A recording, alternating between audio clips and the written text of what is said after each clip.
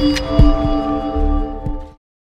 Entre tanto, el presidente Evo Morales se prevé reunirse la primera quincena del mes de febrero en Bolivia con el equipo jurídico internacional de la demanda marítima, radicada desde el 2013 en la Corte Internacional de Justicia de La Haya, buscando negociar de buena fe una salida soberana al mar. Y el canciller Fernando Guanacune anunció que el informe científico sobre el origen y recorrido natural de las aguas del manantial del Silala será entregado al equipo jurídico internacional la próxima semana en la Corte. Lo que yo creo es que están eh, intentando huir al escenario de los resultados eh, oficiales de, la Corte. En todo caso, nosotros vamos a actuar con base en lo que la Corte diga. Las eh, negociaciones bilaterales a lo largo de nuestra historia con Chile no han tenido buenos resultados, nos han mentido, nos han dejado muchos documentos, tanto orales como físicos, eh, incumplidos y no va a ser eh, esto una costumbre de aquí en adelante. Bolivia se va a mover a partir de lo que la Corte decida.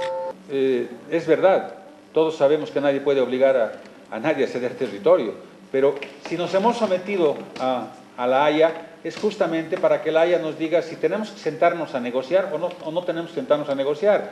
Eh, Chile tiene que aceptar aquello. Ahora, eh, en las negociaciones tenemos que poner pues la mejor gente, la gente más hábil para avanzar en este tema. Si es que nosotros eh, ganamos aquel tema, si es que la Haya nos dice deben sentarse a negociar los documentos que han presentado eh, son los correctos y debe negociar eh, Chile y Bolivia. El secretario general de la Organización de Estados Americanos y senador electo por Arica, José Miguel Insulza, se refirió a la demanda marítima boliviana de cara a los alegatos orales que se desarrollarán del 19 al 28 de marzo en La Haya y aseguró que hay una cosa que es muy importante saber y lo hemos dicho, fallo o no fallo, Chile no va a ceder un centímetro de su soberanía sin su voluntad, por lo tanto a Chile no le puede obligar a negociar nadie.